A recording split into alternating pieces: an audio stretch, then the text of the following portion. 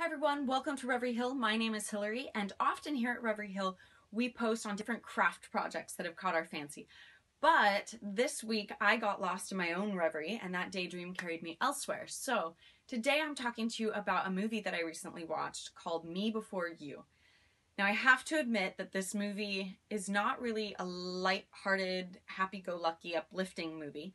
Uh, so if that's kind of the mood you are in for watching a movie, then maybe that's not the movie you should watch. But there is a happy-go-lucky, light-hearted character that's in the movie named Louisa Clark. And she is just a delight to watch throughout the movie. Uh, as every scene that she shows up in, she has some new fabulous, vibrant outfit on. And in many ways, she kind of embodies what kind of tends to be the profile of a Reverie Hill girl. And so we hope that you, if you watch this movie, um, that you uh, have an appreciation for her character as much as we appreciated her. So there's a moment in this movie where Will Traynor and Louisa Clark are talking, the two main characters, and Will Traynor's character asks Louisa how she came upon her exotic tastes. And then he kind of hones in on these shoes that she's wearing.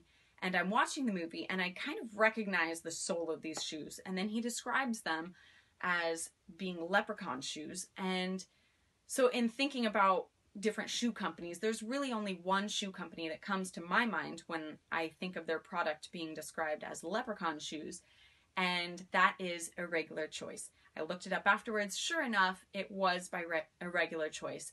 And I know this because I myself had bought a product from them, and that's how I recognized their shoes. Uh, so if you, like myself, Louisa Clark, and Reverie Hill, have an appreciation for wearable art, then you can feast your eyes on these beauties. Uh, these were the shoes that I had gotten from them, and as you can see, the heel on these shoes are a unicorn. And so there's just nothing more fabulous than heels that are unicorns. So when I saw these, I had to have them.